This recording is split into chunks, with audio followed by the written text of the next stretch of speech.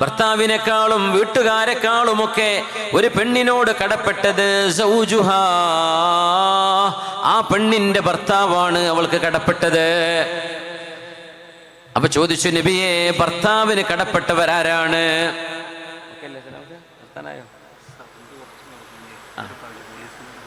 Sound കുറക്കണം അല്ലേ?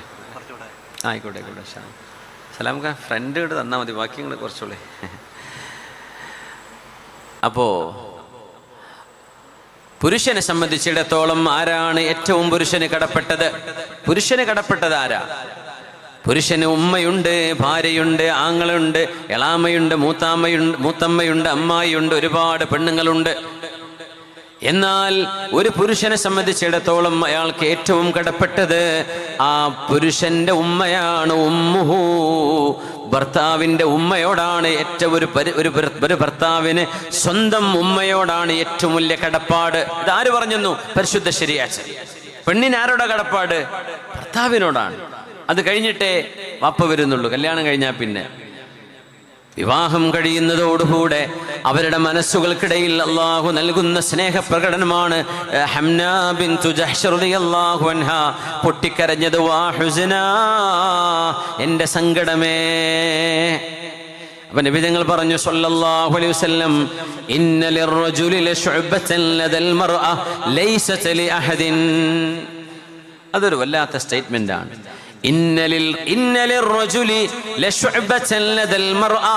ഒരു പുരുഷനെ തന്റെ ഭാര്യയുടെ മനസ്സിൽ ആ പുരുഷന് വല്ലാത്ത സ്ഥാനമുണ്ട്. മറ്റൊരാൾക്കും വകവെച്ചു കൊടുക്കാത്ത തന്റെ ഭർത്താവിനോട് പ്രത്യേകമായ ഒരു അഭിനിവേശം ഒരു സ്നേഹം ഒരു കടപ്പാട് ഒരു പെണ്ണിന് മറ്റാരോടുമില്ലെങ്കിലും ഒരു ഭർത്താവിനോടുണ്ട്. അതുകൊണ്ടാണ് സ്വന്തം സഹോദരൻ അബ്ദുല്ലാഹിബിന് ജഹ്ഷ് എന്നവർ വഫാത്തായപ്പോൾ പൊട്ടിക്കരയാത്ത ഹംന ബീവി റളിയല്ലാഹു അൻഹ. ഷഹീദാണ് നിങ്ങളുടെ ഭർത്താവ് മുസ്അബ് ഇബ്നു ഉമൈർ റളിയല്ലാഹു അൻഹു എന്ന് പറഞ്ഞപ്പോൾ ഹംന ബീവി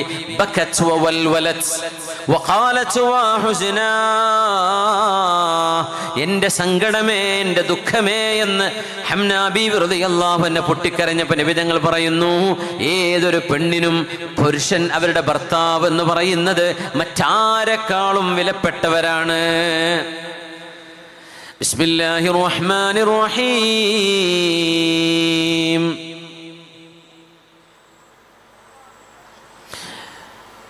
وجعل بينكم مودة ورحمة. إن في ذلك لآيات لقوم يتفكرون.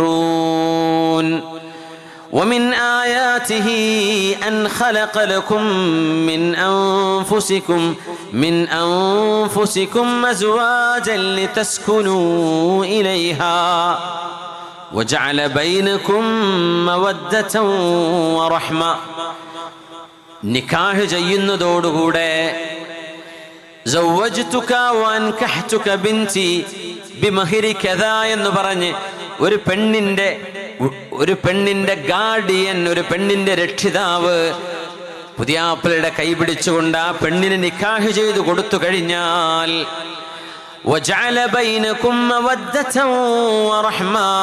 നിങ്ങളുടെ മനസ്സുകൾക്കിടയിൽ ഭാര്യ ഭർത്താവിന്റെ മനസ്സുകൾക്കിടയിൽ സ്നേഹവും കാരുണ്യവും അവിടെ ഇറക്കി കൊടുക്കുന്നത് അള്ളാഹു ചെയ്യുന്ന പണിയാണ്. ഇതിൽ അള്ളാഹുവിന്റെ ദൃഷ്ടാന്തമുണ്ട്. ചിന്തിക്കുന്നവർക്ക് ദൃഷ്ടാന്തമുണ്ട്. ഇത് അള്ളാഹു ചെയ്യുന്നൊരു പണിയാണ്. അതുകൊണ്ട് എന്ന സഹോദരന്റെ മരണം കേട്ടപ്പോ ഇന്നാലില്ലാഹി എന്ന് പറഞ്ഞതും ഭർത്താവ് മരിച്ചു ഷഹീദാണെന്ന് കേട്ടപ്പോ വാ ഹുസ്നാ എന്റെ സങ്കടമേ എന്ന് പറഞ്ഞ് പൊട്ടിക്കരഞ്ഞതും ഹംന ബീവിയെ ആക്ഷേപിക്കേണ്ടതല്ല. ഇന്നലെ ഒരാളോടുമില്ലാത്തൊരു ബന്ധം ഒരു പെണ്ണിന് തന്റെ ഭർത്താവിനോട് ഉണ്ട് എന്നത് പ്രകൃതിപരമായും ഫിത്രത്തിന്റെ ഭാഗം തന്നെ എന്ന് മഹാനായ റസൂലുള്ളാഹി സ്വല്ലല്ലാഹു അലൈഹി വസല്ലം വിവാഹമെന്ന് പറയുന്നത് മനുഷ്യന്റെ പ്രകൃതിയോട് യോജിച്ചു വന്നൊരു ഒരു വിഷയത്തെ ഹാൻഡിൽ ചെയ്യുന്നതാണ് കൈകാര്യം ചെയ്യുന്നതാണ്. നിങ്ങളുടെ കണ്ണുകളെ സൂക്ഷിക്കണമേ. കുല്ലിൽ മുഅ്മിനീൻ കുല്ലിൽ മുഅ്മിനീന മിൻ അബ്സാരിഹിം ഫുറൂജഹും. നബിയെ സത്യവിശ്വാസികളായ ആണുങ്ങളോട് പറയണമേ അവർ കണ്ണുകൾ ചിമ്മണം ചില കാര്യങ്ങൾ നോക്കരുത്. മിന്നപസ്വാരി എപ്പോഴും കണ്ണുമി നടക്കണം എന്നല്ല പറഞ്ഞത്. കാണേണ്ടാത്തത് കാണേണ്ടി വരുമ്പോൾ അവരോട് കണ്ണ് താഴ്ത്തണം എന്ന് പറയണം. ഇന്ന് ചെയ്യാൻ പറ്റിയ വലിയൊരു അഴിബാദത്താണത്. അല്ലേ? മൊബൈൽ നോക്കുകയാണെങ്കിലും ഒരു മാഗസിൻ നോക്കുകയാണെങ്കിലും റോഡിലൂടെ നടക്കുകയാണെങ്കിലും ബസ് കയറുകയാണെങ്കിലും ട്രെയിനിലാണെങ്കിലും ഫ്ലൈറ്റിലാണെങ്കിലും ഓട്ടോറിക്ഷയിലാണെങ്കിലും അങ്ങാടി കിടക്കുകയാണെങ്കിലും ഷോപ്പിംഗ് മാളിലേക്ക് പോകുകയാണെങ്കിലും പുരുഷനും പെണ്ണും ഒരുപോലെ ചെയ്യേണ്ട ഒരു വിവാദത്താണ് യകുല്ലൂമിൻ അബസ്വാരിഹിം കണ്ണുകൾ താഴ്ത്തേണമേ. ഇപ്പൊ ആരാ നോക്ക ആരപ്പതാ അഴിബാത്ത് ചെയ്യുന്നത്? ആർക്കും ഓർമ്മയുണ്ട്? യകുല്ലൂമിൻ കണ്ണുകളെ അവർ ചിമ്മണം. എന്നിട്ട് പറഞ്ഞെന്ത്? ഫുറൂജഹും അവരവരുടെ രഹസ്യഭാഗങ്ങൾ സൂക്ഷിക്കണമെന്നും പറയണം. എന്തേ? കണ്ണ് സൂക്ഷിക്കാതിരുന്നാൽ മനുഷ്യനിൽ സെക്ഷൽ അപ്പറ്റൈറ്റ് കൂടിക്കൊണ്ടിരിക്കും. ഇത് മനുഷ്യൻ വരുത്തി വെക്കുന്ന വിനയാണ്. പ്രകൃതിയ മനുഷ്യ ശരീരത്തെ അള്ളാഹു പടച്ചൊരു സംവിധാനമുണ്ട്. ആ സംവിധാനത്തെ നിങ്ങൾ കേടുവരുത്തരുത്. കണ്ണ് സൂക്ഷിക്കണം. അള്ളാഹു നമുക്ക് തോഫീക്ക് നൽകട്ടെ. ഒരാൾ അള്ളാഹു പറഞ്ഞതിലേക്ക് നോക്കാതെ കണ്ണ് ചിമ്മുകയാണെങ്കിൽ.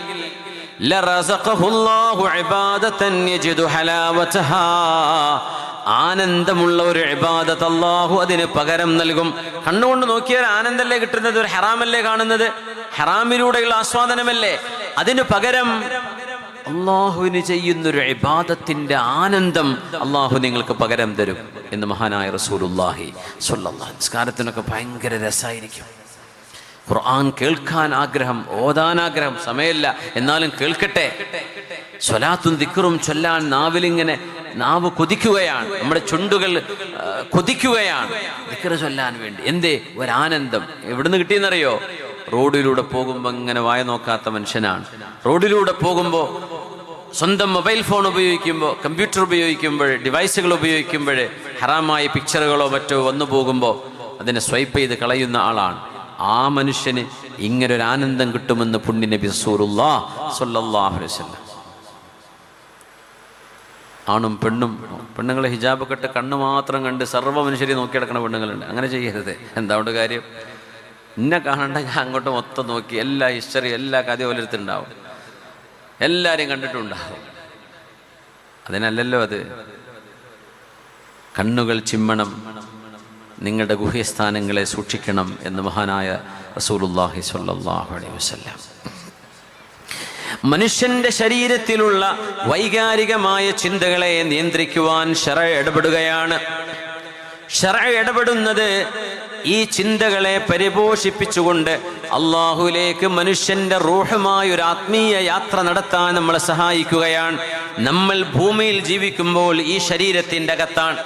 ഈ ശരീരം മണ്ണിൽ വെച്ചാൽ ചിലപ്പോൾ കേടുന്നു പോകും. ചിലപ്പോൾ അവിടെ ഉണ്ടാവും. പക്ഷേ നമ്മുടെ റൂഹിന് അള്ളാഹു കയറി നിൽക്കാനുള്ള വാഹനം കൊടുക്കുന്നത് ഖബറിലെ ജീവിതം കഴിഞ്ഞാൽ പുതിയ ഒരു വാഹനമാണ്. ഇതൊരു മത്തുയച്ചാണെന്ന് പറയും. ഈ മൊത്തയ്യത്ത് ഇവിടെ ഇട്ട് പോകും. കണ്ടല്ലോ? കുറച്ചു നേരം ബസ്സിൽ പോയി പിന്നെ ട്രെയിനിൽ കയറി പോകില്ല നമ്മൾ പോകും. ആദ്യൊരു വാഹനത്തിൽ പോകും പിന്നെ ആ വാഹനം ഇട്ടിട്ട് വേറെ വണ്ടി കയറി പോകും.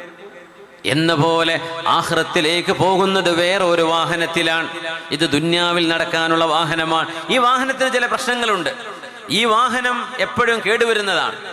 ഹറാമ് നോക്കണം കേൾക്കണം കാണണം പറയണം ചിന്തിക്കണം. ഫേസ്ബുക്കിലൊന്ന് ടൈപ്പ് ചെയ്ത് വിടണം നാലാളെ ചീത്ത പറഞ്ഞെങ്കിൽ ഒരാൾ കുറച്ച് ആൾക്കാരെ കുതിര കയറിയാൽ സമാധാനം ഉറക്കം വരുള്ളൂ അങ്ങനത്തെ എത്ര മനുഷ്യന്മാരുണ്ടെന്ന്? അവിടെ പോയി ഷാറായിട്ട് കിടന്നുറങ്ങും. ആരൊക്കെയോ തിന്നിട്ട് കൊത്തി വലിച്ചിട്ടാ പോയി കിടന്നുറങ്ങുക. അത് സമാധാനം അത് ഭയങ്കര രസമാണ്. ചില ആൾക്കാർക്ക് ഭയങ്കര ഇഷ്ടമാണത് നാലാളെ കുറ്റം പറയാം എന്തെങ്കിലും കുറ്റം കിട്ടാണ്ടോ എന്ന് നോക്കി നടക്കുക. സുഹാന ജല്ല ജലാലു. മനുഷ്യന്റെ ചില പ്രകൃതങ്ങളെ വിശുദ്ധമായ ഖുർആൻ ഇടപെട്ട് നന്നാക്കുകയാണ് നിങ്ങളുടെ ഈ ശരീരം. ഈ ശരീരത്തിൽ കിടക്കുന്ന റൂഹിന് കിട്ടേണ്ട ഒരു വാ ഒരു ഒരു ഭക്ഷണമുണ്ട് റൂഹിന് കിട്ടേണ്ട വെളിച്ചമുണ്ട്. ആ വെളിച്ചം കിട്ടണമെങ്കിൽ അള്ളാഹു നിങ്ങൾക്ക് തന്ന ഫിത്തുറത്തിലേക്ക് നിങ്ങളുടെ റൂഹിനെ ചേർത്ത് വെക്കണം. പരിശുദ്ധിയിലേക്ക് വരണം. ജന്മന നിങ്ങൾക്ക് ശരീരത്തിൽ തന്ന ചില ആഗ്രഹങ്ങൾ ഉണ്ടാകാം ആ ആഗ്രഹങ്ങളെ നിയന്ത്രിക്കേണ്ടതുണ്ട്. അപ്പോഴാണ് ആത്മാവ് പരിശുദ്ധിയിലേക്ക് വരുന്നത്. يا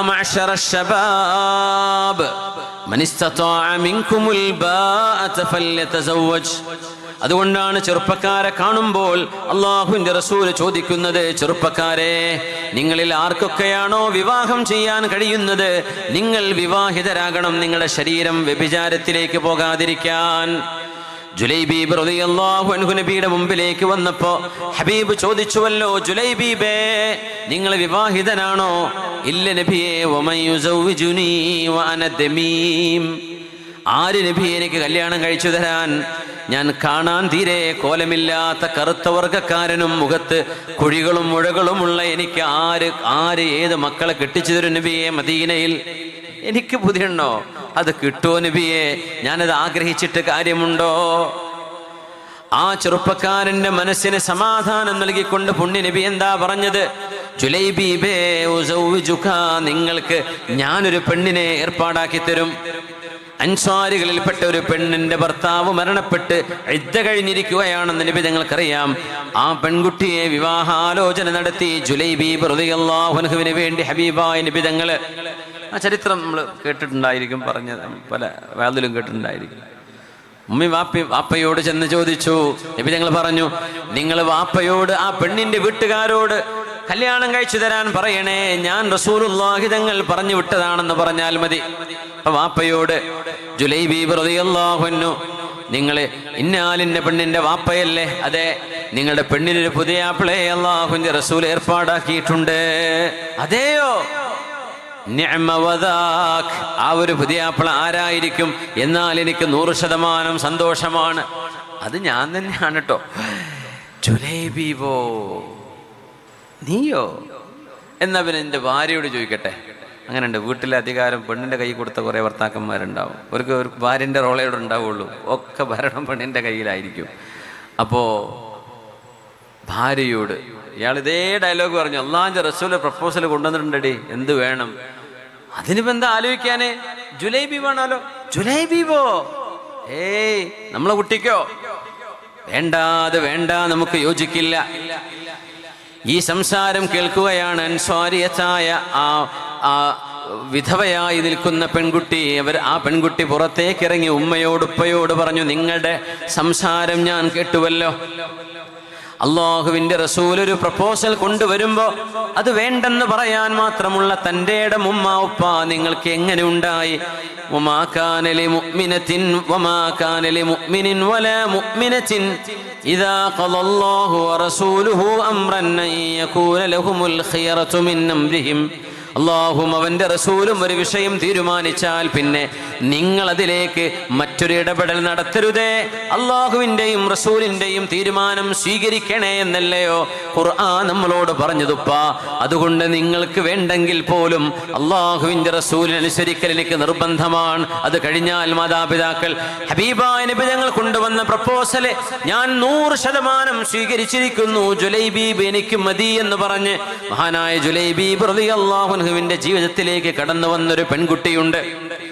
പക്ഷെ അത്ഭുതം എന്താണെന്നറിയോ? കല്യാണം കഴിഞ്ഞ ഉടനെ ഒരു മാസം പോലും നിന്നിട്ടില്ല. ജുലൈബി പ്രതികല്ലാഹുനു ഷഹീദായി റളിയല്ലാഹുവിനു ജുലൈബീബ് എന്നവരെ നിബിധങ്ങളാണ് ചെയ്തത് ജനാസ സംസ്കരിച്ചത്. മടിയിലേക്ക് തലവെച്ചുകൊണ്ട് ജുലൈബ് ജുലൈബീബ് റതിയല്ലാഹുനുവിനെ കിടത്തിയിട്ട് ആ മുഖത്തേക്ക് നോക്കി കരഞ്ഞിട്ടുണ്ട് നിബിധങ്ങൾ. എന്റെ മുമ്പിലേക്ക് വന്നപ്പോ നബിയെ ഞാൻ വിവാഹം കഴിച്ചില്ല എനിക്ക് ആര് വിവാഹിതരാക്കി തരും ഏത് മക്കളെ ആര് കെട്ടിച്ചു തരും എന്ന് ചോദിച്ച ജുലൈബീബാണിത്. ആ ജുലൈബീബ് എന്നവരുടെ മുഖത്ത് നോക്കി അള്ളാഹുവിന്റെ ഹബീബ് ദുആ ചെയ്തു. ജുലൈബീബ് എന്നവരെ ഖബറിലേക്ക് വെക്കുമ്പോൾ മഹാനവറുകൾ അള്ളാഹുവിന്റെ ഹബീബായ നിബിതങ്ങൾ ഖബറിൽ നിന്ന് പിറകോട്ട് മാറുന്നത് സുഹാബികൾ കണ്ടു. അവർ ചോദിച്ചു നബിയെ എന്താണ് സംഭവിക്കുന്നത്? ജുലൈബീബ് റളിയല്ലാഹുവിന്റെ ഖബറിലേക്ക് മഹാനവറുകളെ സ്വീകരിക്കാൻ ഹൂറുല്ലീനുകൾ മത്സരിച്ചു വരുന്നത് ഞാൻ കണ്ടപ്പോ ഞാൻ മാറി നിന്നതാണെന്ന് ഹബീബ് ചോദിച്ചു